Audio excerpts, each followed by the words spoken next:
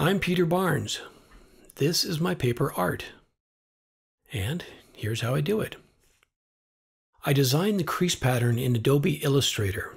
It allows me to precisely edit my crease lines. And this is the only time that I have complete control. Here I'm using the blend tool to create a series of slightly changing curves. Then I send the pattern to my vinyl cutter, which is loaded with watercolor paper. Normally this machine uses a knife or pen. Mine uses a five penny nail to crease the paper far more accurately than I ever could by hand. This is Arches watercolor paper. It's beautiful 100% cotton and strong. That's important because while I'm weakening the creases, the spaces between them need to be stiff enough to resist collapsing. When the curves start working together, I spray the sheet with water.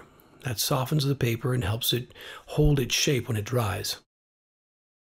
Then as the form emerges, I look for the best arrangement. Here the paper sometimes obeys me, but it always obeys the creases. And this one still needs a lot of smoothing.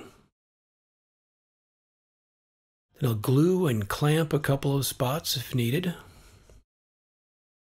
And I'll give it a protective coating, and that is one interpretation of the creases.